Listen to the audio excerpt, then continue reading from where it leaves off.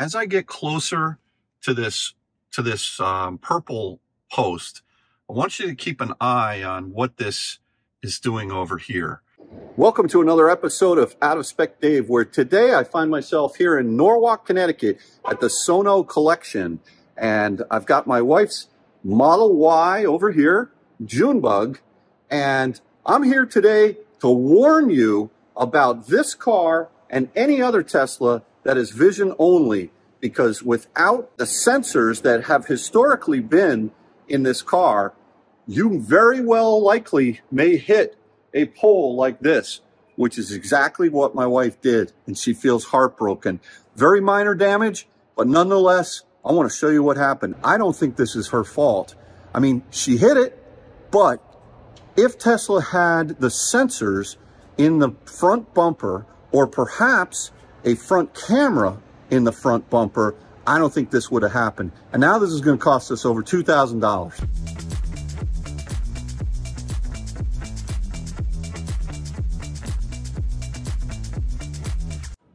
Yeah, you can see where it got bent right here. It's a very tiny little tap, but um, yeah. So here's just a, a typical Mazda. Looks like maybe a CX-9 or something like that. And you'll see these little sensors right here that uh, these round little sensors, there's uh, a few of them. And what they do is they actually detect whether or not you're going to crash into something like a wall. And Tesla eliminated those sensors and rely completely on vision only now, which is a little bit of a disturbing problem. And we're going to get into that issue and one other today. I'm uh, stick with me. I'm going to show you a couple things to really be careful of when you're driving your Tesla. So one other situation you'll see over here, we've got a relatively low garage door with a beautiful, shiny, nasty metal bracket.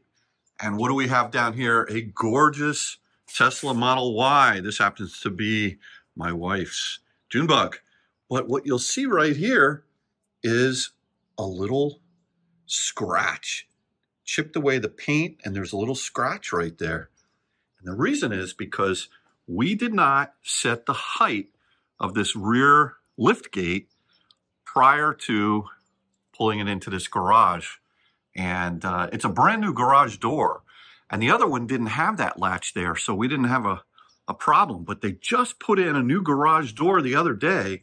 And so when we lifted this up, it smacked into, you know, you hold it with your hand there and then it'll it'll pull back. But it actually smacked into that uh, that bracket right there, and it's not good. So there's a little bit of a little bit of situation right here. So the way to the way to actually fix this problem is what you can do is you can push this up manually with your hand as far as you want it to go.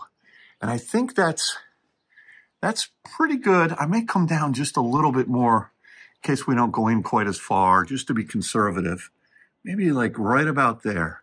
And then all you have to do is push this little button until you about three seconds. Now listen, you hear the little chime. And once you hear the chime, then you know that it has it has leveled off at the highest setting or whatever setting you want, custom.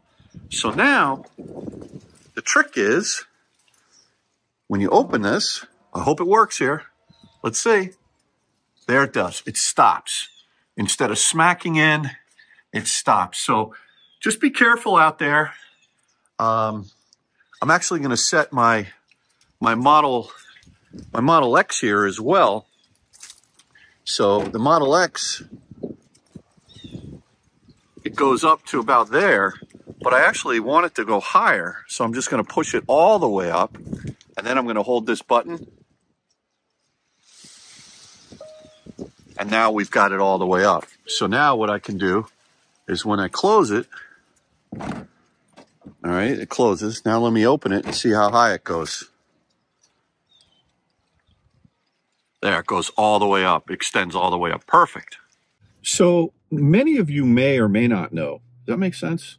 Some of you may or may not know that Tesla eliminated sensors in the bumpers of their cars.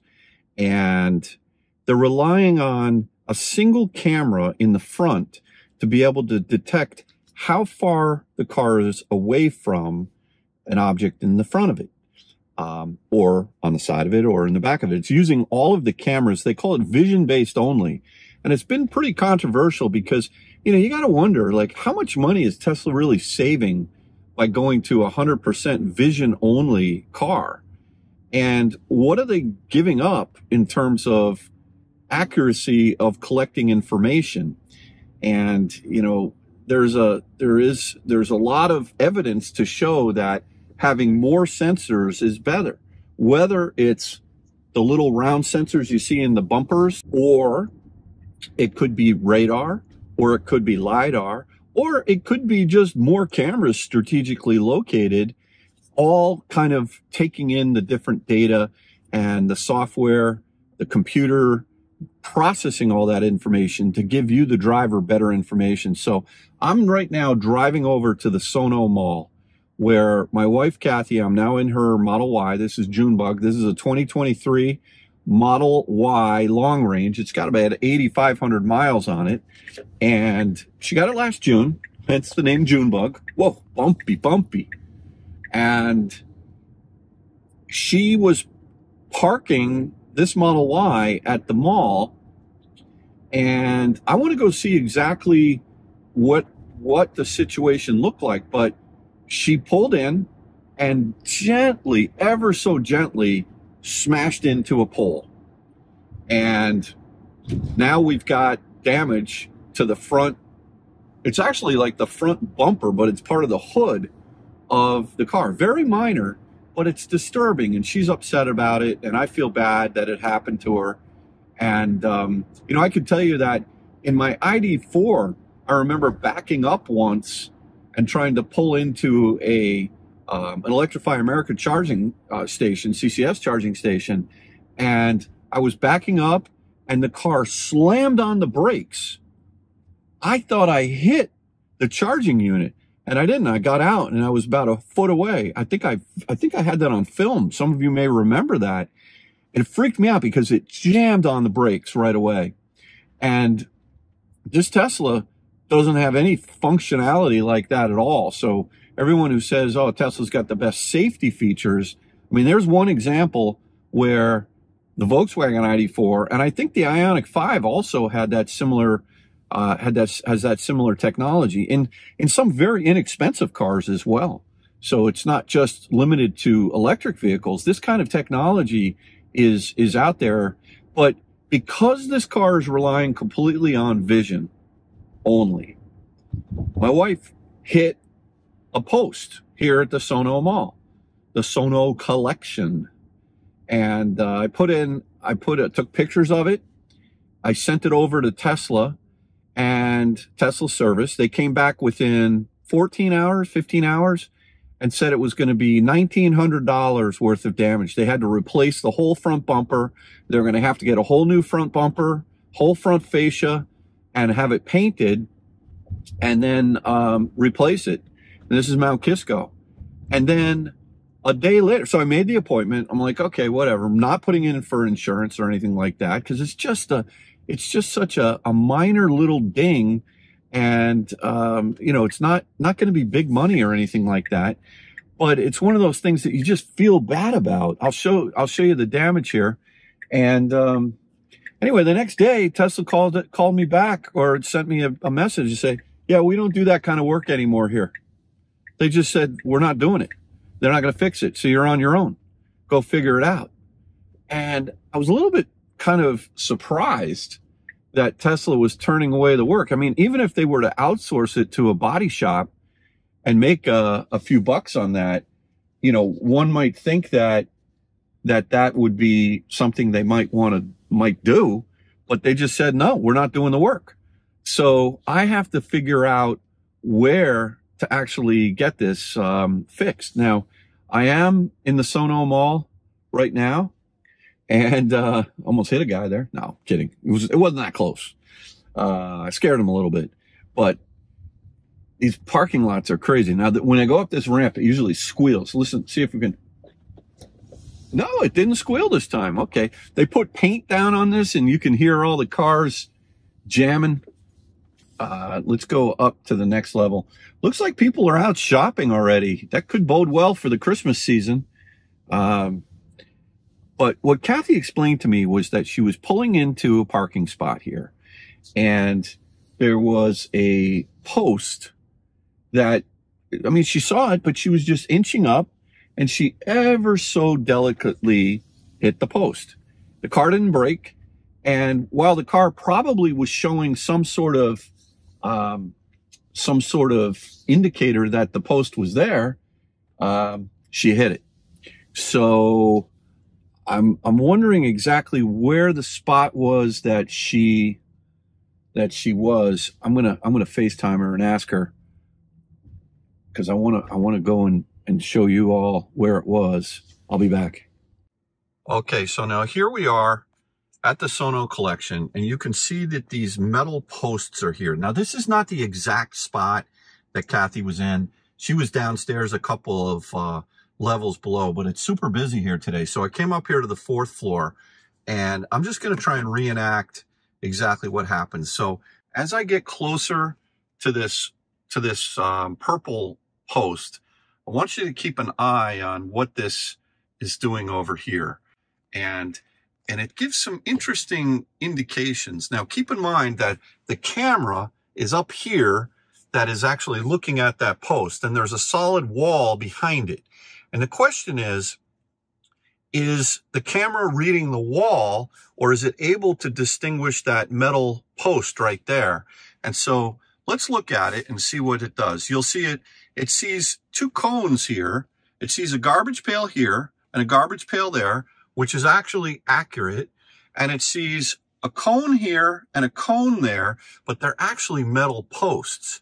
So this is actually quite interesting to me. So as I pull up towards the metal post, let's see what happens. All right, I'm pretty far away still. Now we're starting to get, all right, now it's telling me that I am 30 inches, 28 to 30 inches away from that metal post. Now let's go measure that. Let's go look at that and see how far away we are. It said 30 inches. 30 inches? I mean, that's a good six feet away. So that is extremely inaccurate. And again, keep in mind that the camera is right up in there where it's, it's measuring. Um, this is hardware 4, and it's telling me we're 30 inches away from that metal post. Mmm, not good. Not good. All right, let's get back in and see what happens. All right.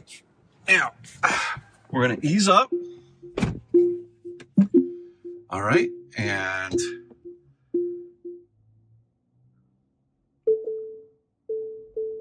it's beeping at me 26 inches, 28 inches, 24 inches. Now it doesn't say anything except it kind of sees that there's a cone garbage pail, another cone, and another garbage pail. You can see that there, but it's not indicating that I am supposed to stop. And as I keep going and keep inching up, let's see what happens. I don't want to hit it again. Okay, now, what is that there? The cone just turned upside down, but it's not Oh, look at that. It's, it's sort of going back and forth. Let me just inch up just a little bit more. Okay, now you can see that the cones went upside down, but there's no audible sound. Now let's see how close we are. Let's see how close we are. So there was no, so there was no audible indication that we're super close to anything here. And you can see that we're about, this is about a foot away and you can see where, hopefully you can see where, yeah, you can see where it got bent right here. It's a very tiny little tap, but um, yeah, You can see the hump in it right there. So again, this was not the exact spot it happened, but I'm just showing you. Now I'm gonna go a little bit closer. I'm gonna inch up just a little bit more and see if we get any additional indicators. All right. I hope I don't hit this thing. Just a little, just a little. I don't really want to go much closer, but there is no audible indication. Now what you can see here is you can see this yellow line going up and around like that. And I'm going to see how close we are to that pole right now. This, my friends, is a problem with this vision only system. Well, we're probably eight inches, eight inches away. I'm gonna go a little closer and see what happens. Just a little bit closer. Let's see.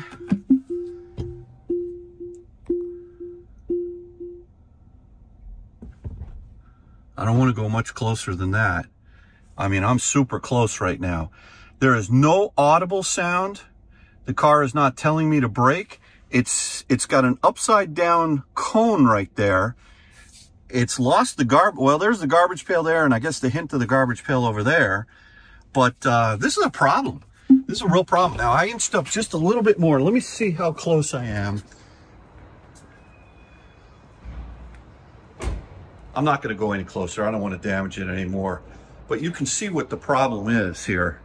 This car is not telling you to stop and we're that close to a post. You got to be really careful, folks. Really careful. All right, so there you have it. As we pull out of the Sono Mall, you know, you can't you can't really point a finger at them for being at fault, but um, you know, I think you just, it's just a lesson for all of us that these vision-based Teslas, you got to be really careful in close in quarters, um, whether it's your garage or a parking spot, because this camera here in the center does not do a good enough job, in my opinion, which I think I just showed in recreating that. It does not give you fair warning that you're about to hit something. And that something was a solid purple I think her, the one she hit was yellow. I don't know if that makes it any better. It was just as solid as the purple one. Anyway, be careful out there. Watch the height adjustment on your lift gate, no matter what car it is. All cars have that sort of memory feature. It's just not Teslas or EVs. But with respect to the uh, hitting of poles, um, I would be really careful. And look at what we have here, a Model X in ultra red. Gotta love that. It's my lucky day. It's not my car. It's not my wife. Somebody else got one. So anyway, everyone, have a good day. Thanks again for watching another episode of Out of Spec Dave. We'll catch you on the next one. Take care.